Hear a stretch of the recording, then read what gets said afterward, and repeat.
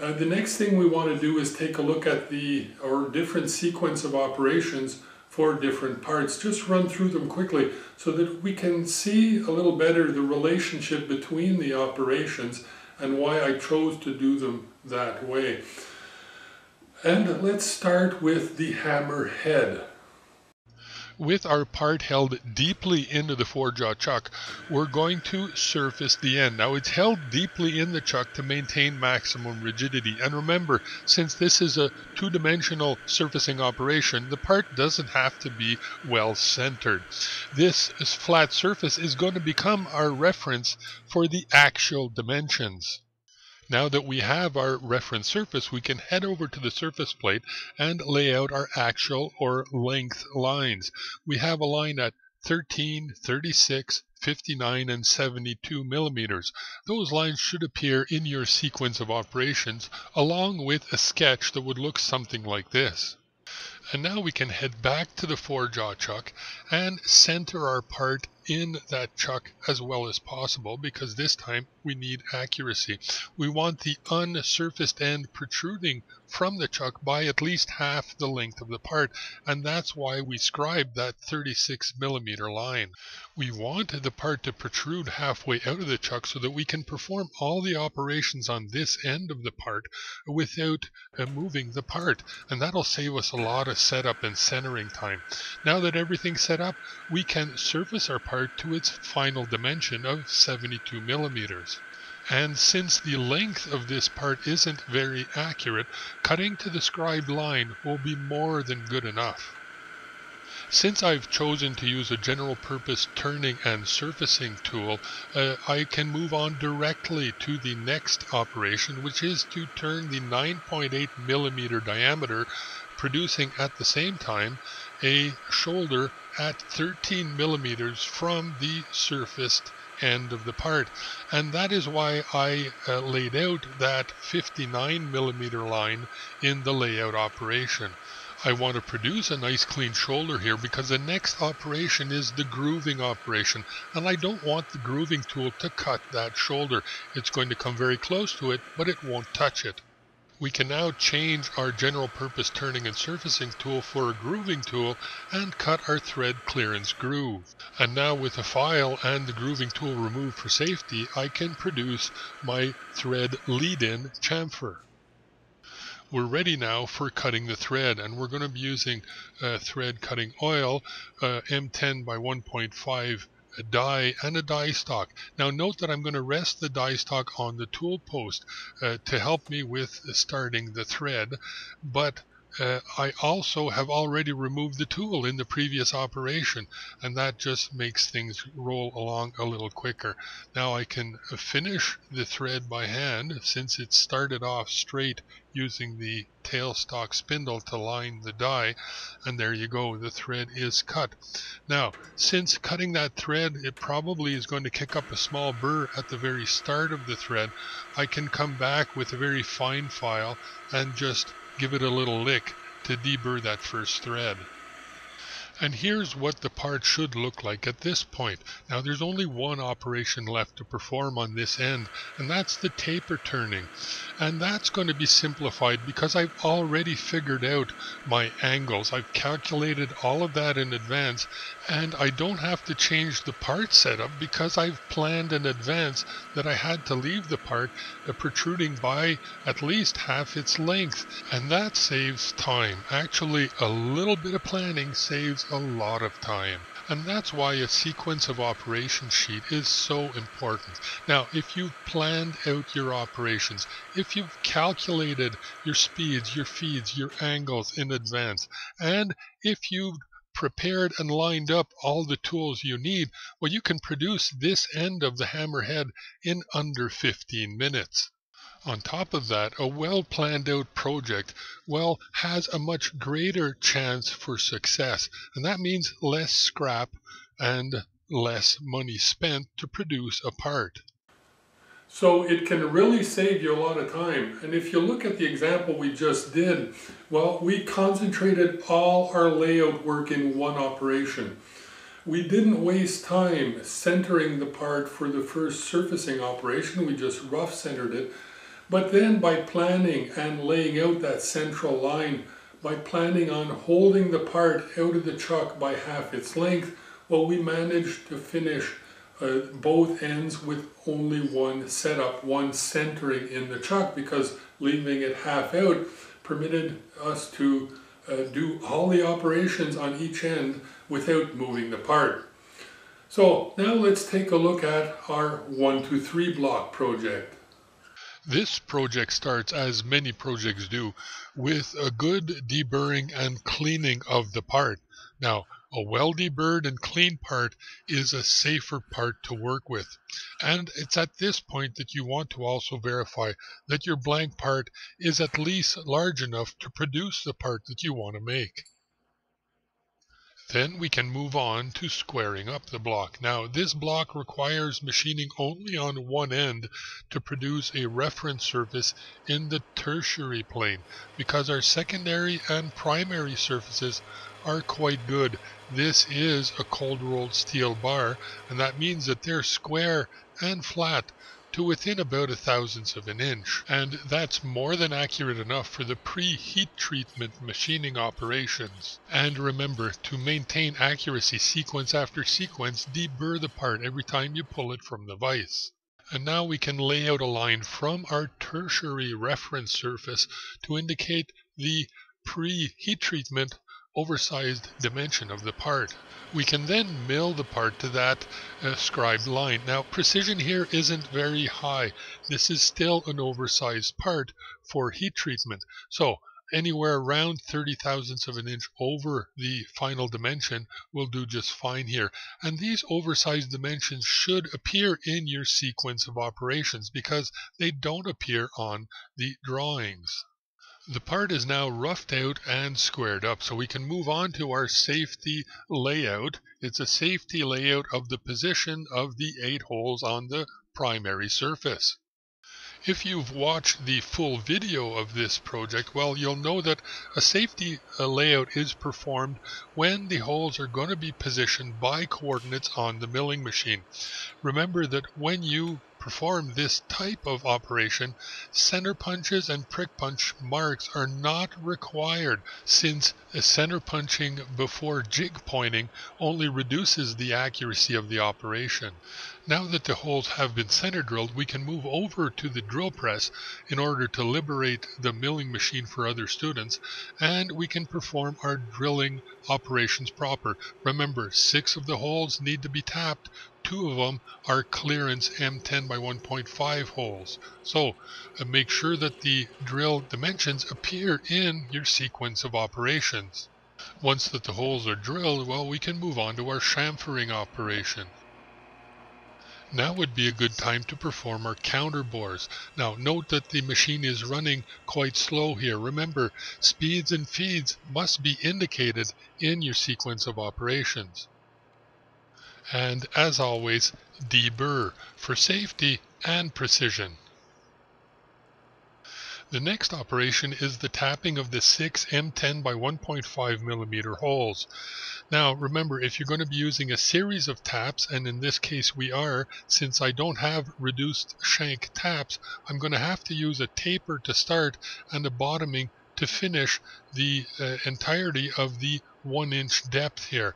So make sure to add to your series of operations all the taps that you're going to use. The last of our pre-heat treatment operations is, well, the punching of the identification.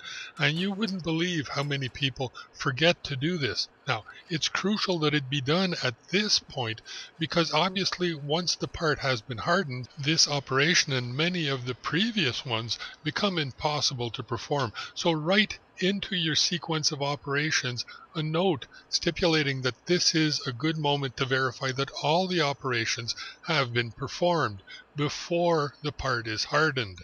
Since I just mentioned that the identification punching was the last pre-heat treatment operation, well obviously the next operation is heat treatment and this will appear in your sequence of operation as a note that's going to say something like harden and temper to example 45 Rockwell.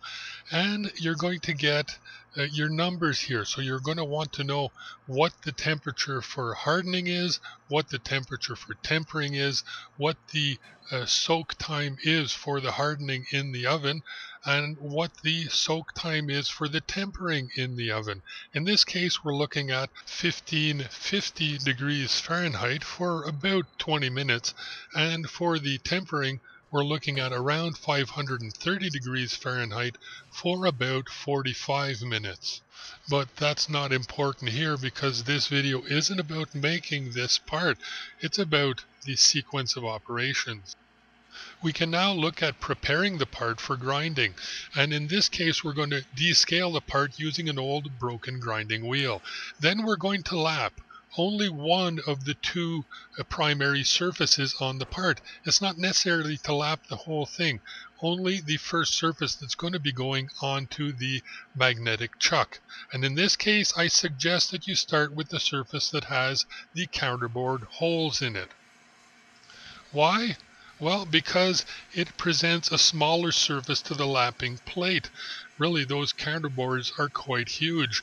And secondly, because our identification numbers are on the other primary surface.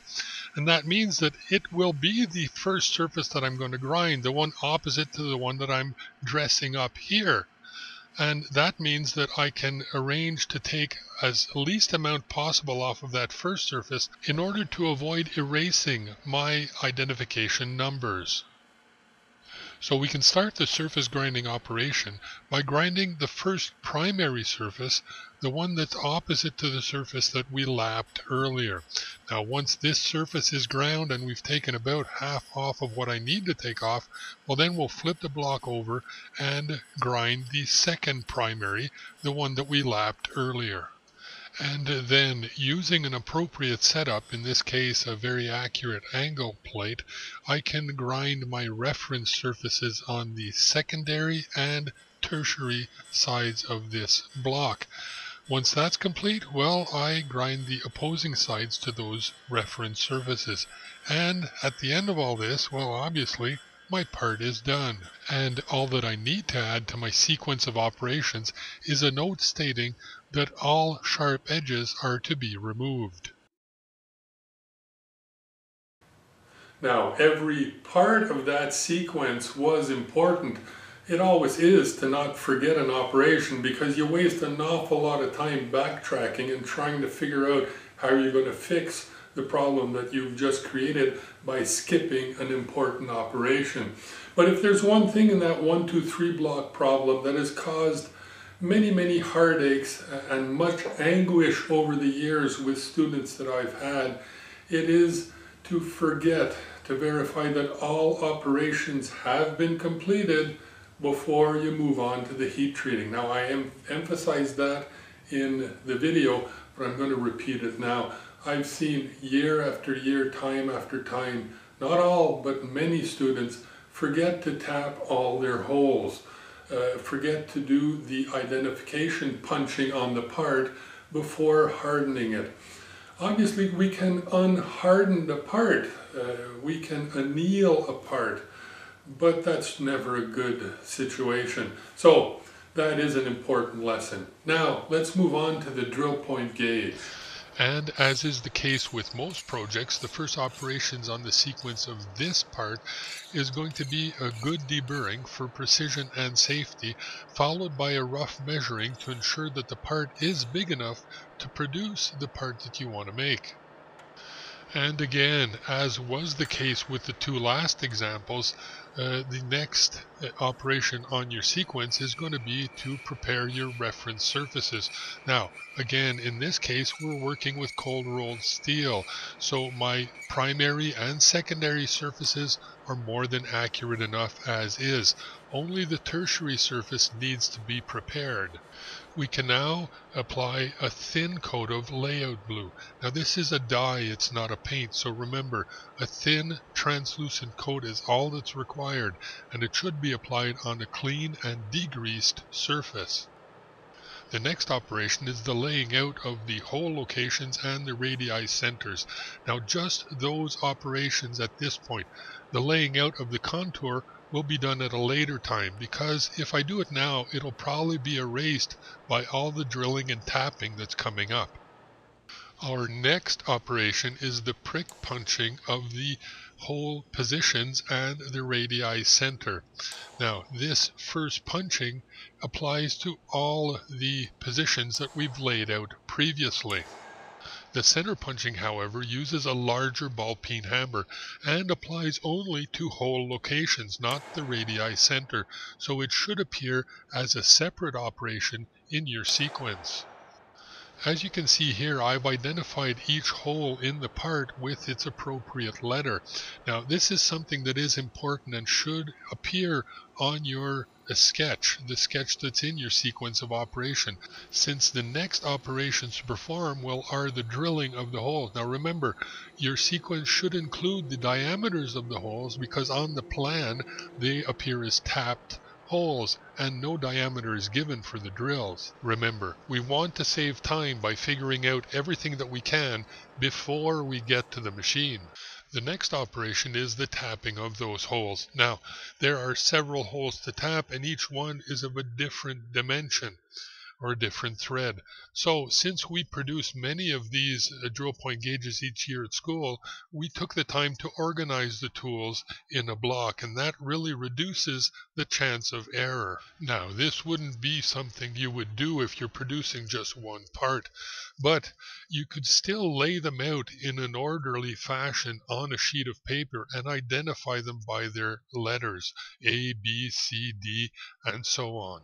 We can now lay out the outside contour of the part. We hadn't done it earlier with the other layout operation since we were afraid that it would be erased by all the drilling and tapping since some cutting oils remove layout blue. Our next operation is to perform a permanent layout.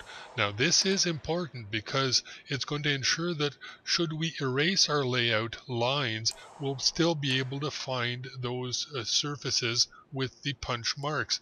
Because once we start cutting, we're going to lose our reference surfaces. And after that, we will not be able to re-lay out those lines. So three light prick punch marks on the straight layout lines and several light prick punch marks on the curves. That is followed by the sawing of the outside contour of the part which is followed by a rough filing of the outside contour. Note that rough filing doesn't mean poorly performed and ugly. We can then move on to the finish filing. Now, these two filing operations use different files and different techniques, so they should appear as separate operations in your sequence. We can then move on to a first finishing of our primary surfaces. Now, why a first finishing?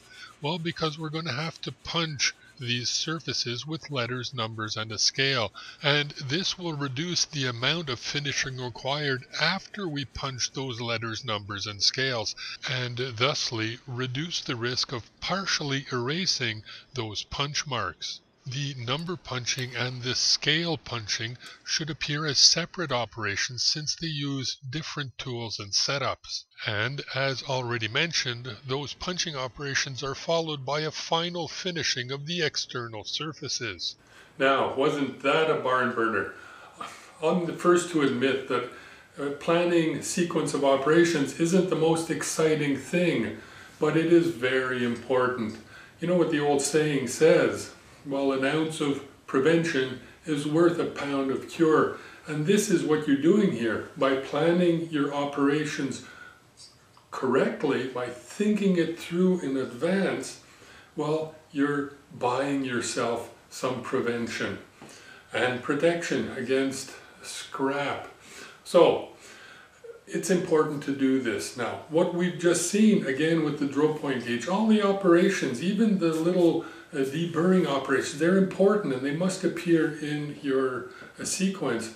But if there's one thing in that that we learned by looking at that project, it's to protect your reference surfaces for as long as you can.